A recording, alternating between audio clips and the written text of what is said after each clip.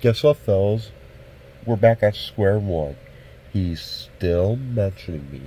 After that video I made on him a couple days ago, he's still back at it. He just won't stop. I'm gonna say this again. I have the right to record my videos with any software I want. You don't tell me what to do. You're not my parental figure. Do you got that?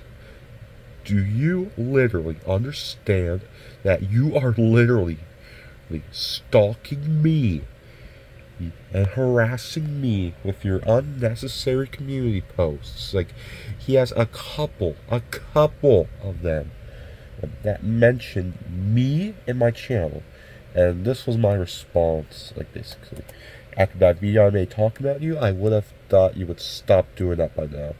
But apparently not.